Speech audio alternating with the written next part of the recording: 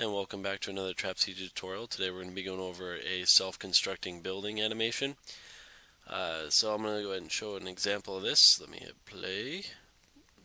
Pillars come up, floors come up, and then the walls start creating. So it's very, very simple. I didn't finish the entire thing, but uh, you should get the point. Alright. Now for those of you who have been requesting this tutorial, I'm sure you, own, you have your own building models. So just bear with me really quick as I actually start from scratch. So I'm going to start with a box in my top viewport. I'm going to make it height-wise 50 feet and I'm going to make it 2 2 feet by 2 feet.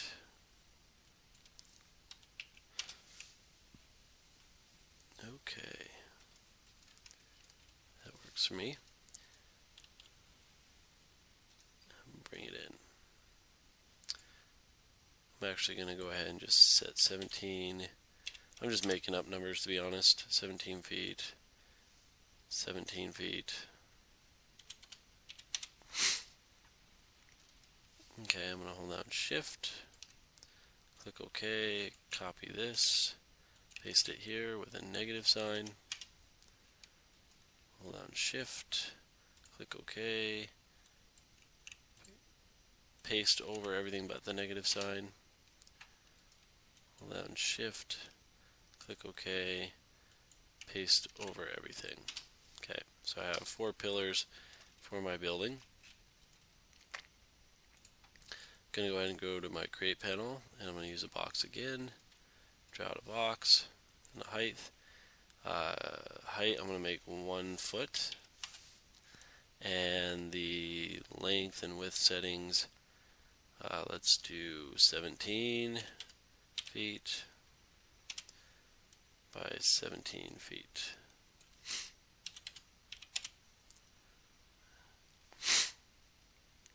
Actually, it's not 17. It's what is it? It's um, 40.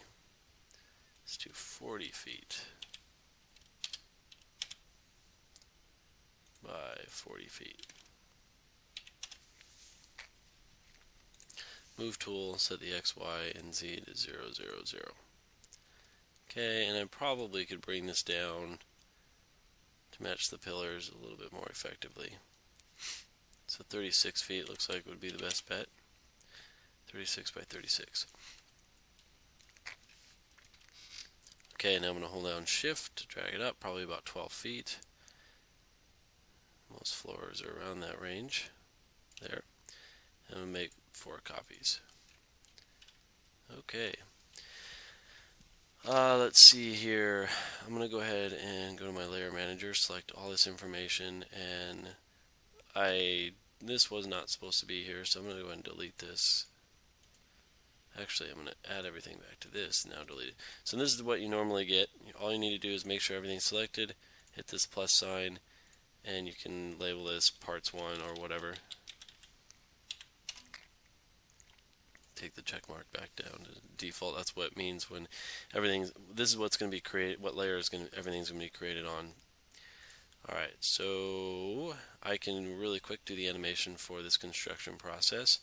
Turn on auto key, go to frame, let's say 20, set a keyframe, and technically my timeline should be 100.